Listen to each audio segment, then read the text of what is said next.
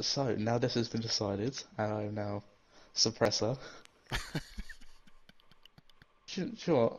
I'm gonna be nice No. and let you keep head of the bank, not head of the bank.